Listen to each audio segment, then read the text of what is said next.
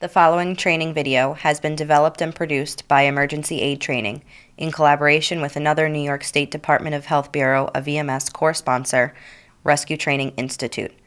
The intent of this video is to instruct first responders and BLS providers in New York State on the proper administration of intranasal naloxone.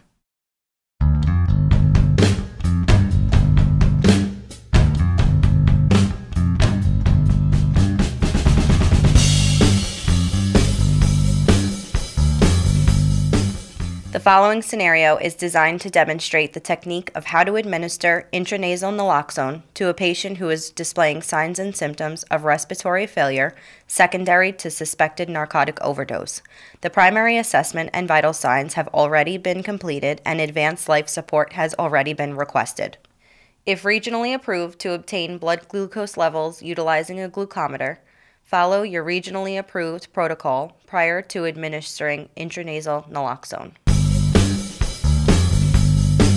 After determining that my patient does not meet the exclusion criteria, I'm going to administer a total of 2 milligrams of naloxone via mucosal atomizer device.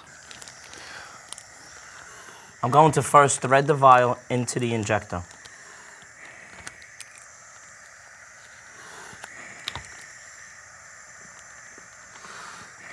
And then I will connect the mucosal atomizer device.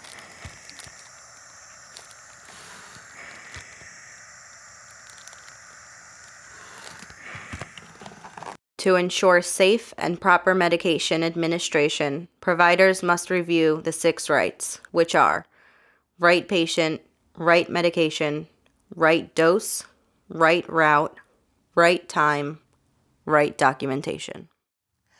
I will insert the atomizer into the patient's left nostril and inject one milligram of naloxone. I will then insert the atomizer into the patient's right nostril and inject 1 milligram of naloxone.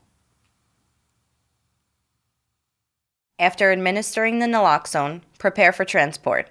After 5 minutes, if the patient's respiratory rate is not greater than 10 breaths per minute, follow the same procedure to administer a second dose of naloxone. The following are the exclusion criteria for administering intranasal naloxone cardiopulmonary arrest, seizure activity during this incident, pediatric patients, therapeutic opioid use through physician prescription, or evidence of nasal trauma, nasal obstruction, or epistaxis.